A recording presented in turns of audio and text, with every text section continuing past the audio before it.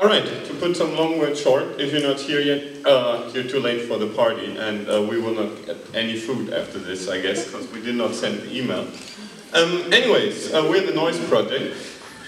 Um, this is Sebastian, I'm Christian, and um, well, here's our travel report. Um, yeah, during the last year we've seen, well, I'm standing.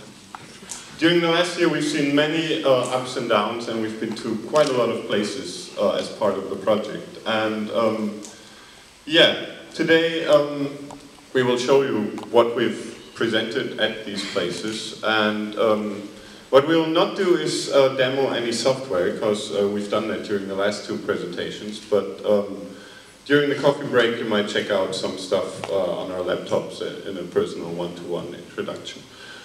So, um, where do we start? We started with a vision.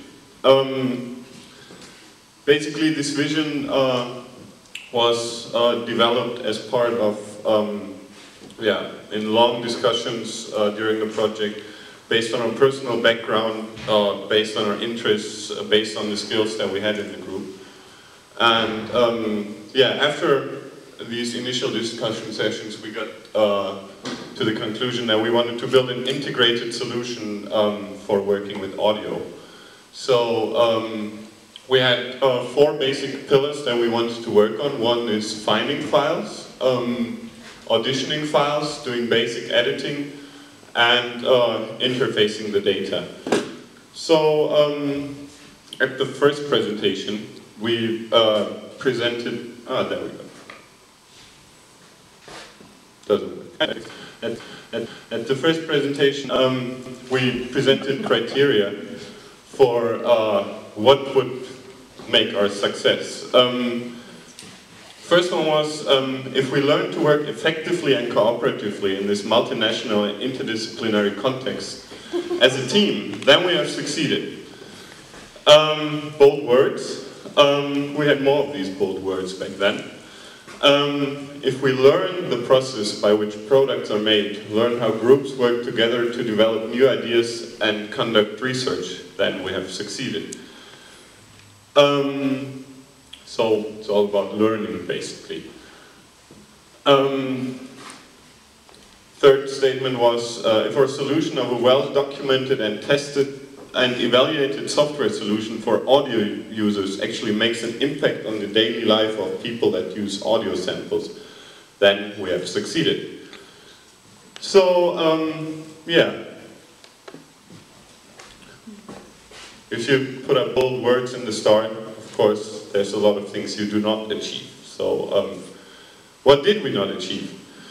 Um, we had all these ambitious goals, um, and um, yeah, we had quite some problems to get the whole group working uh, cooperatively in the way we intended to. It worked in smaller subgroups, but um, yeah, it might have been better here and there.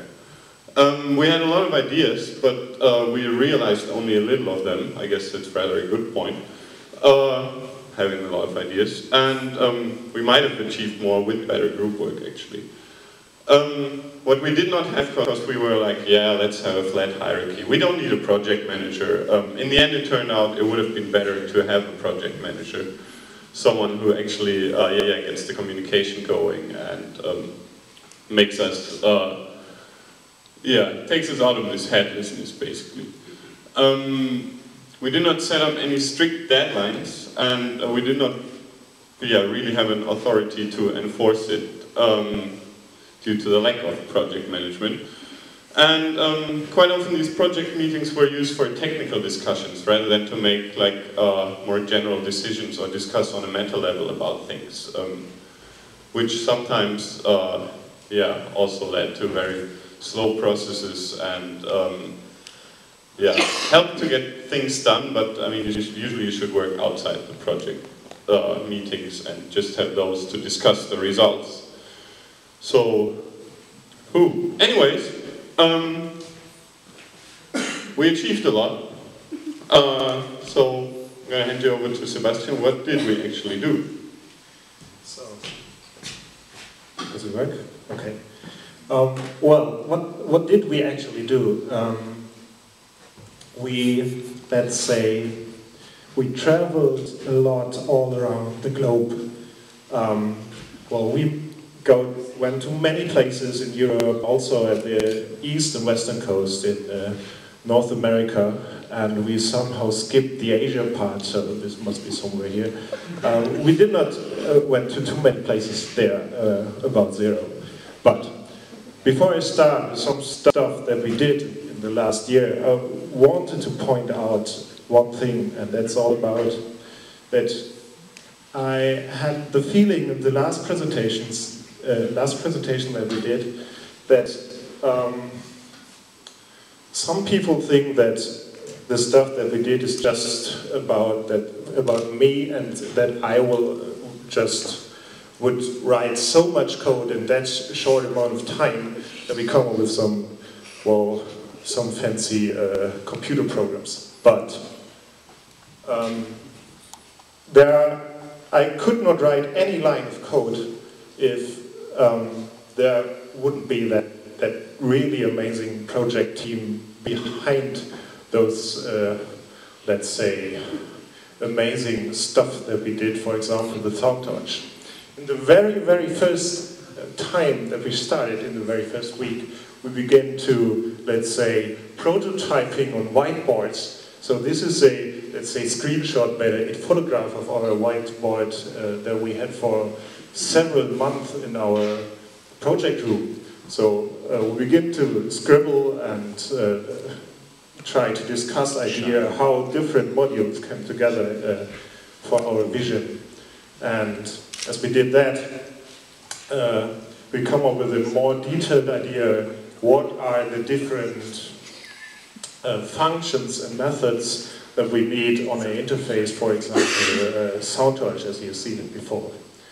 And still then, you could not begin to just hacking any kind of program. So especially Michael um, come up with 3D renderings and uh, Photoshop mockups to, let's say, how could be a more detailed uh, lookout uh, of, of the SoundTorch program uh, would be. And said, okay, we have some speakers around the plane and we want to do the uh, icons on somewhat a surface or something. And then Christian began to come up with a really working prototype that has been done in processing.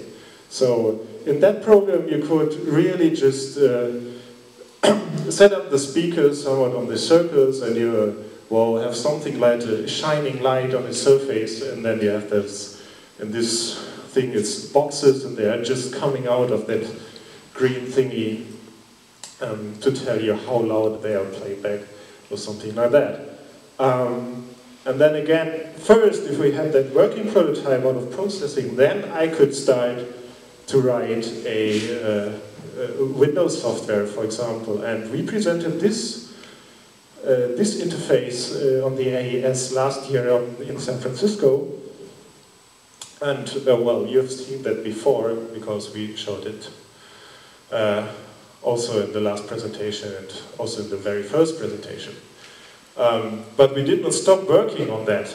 So we had more ideas and we get a lot of comments on those um, conferences and talking to those uh, research people and other guys.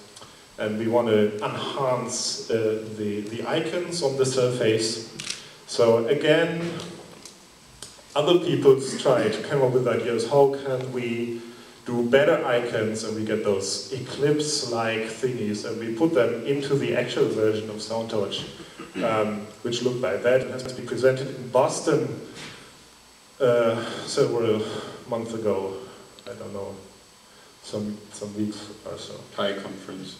At the CHI conference. So, and again, we did not stop working on that. So we still try to do something more with SoundTorch. So we want to do the head tracking thingy, so Christian began to mount IR LEDs uh, at a headphone so that one can track the head movements of a user with a remote and so on. But, well, this has never been published yet.